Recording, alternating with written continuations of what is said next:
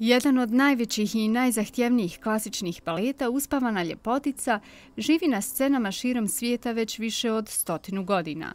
Staru priču o mladoj princezi na koju je zla vještica bacila proročanstvo stogodišnjeg sna i iz kojeg ju je probudio poljubac princa, baletni ansambl iznječe na sceni Narodnog pozorišta Sarajevo pod rediteljskom palicom poznatog koreografa, pedagoga i soliste prvaka igrača iz Hrvatske sa međunarodnom karijerom Dinka Bogdanića.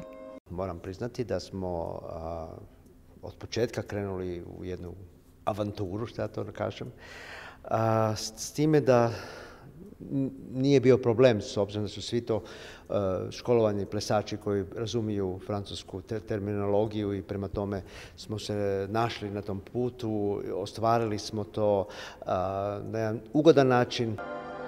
Svoj maksimum da baletnu čaroliju ove bajke vjerodostojno prenese na publiku dala je i solistkinja prvakinja baleta Narodnog pozorišta Sarajevo koja tumači naslovnu ulogu. Naravno, kada, kada se na sceni izvodi, kada se izvodi upravo ovakvoj koreografiji, veoma, veoma zahtevna, tehnički i stilski, neverovatno teška i mislim da je stvarno došla evo, za mene u pravo vreme zato što balerina mora da ima određeno iskustvo.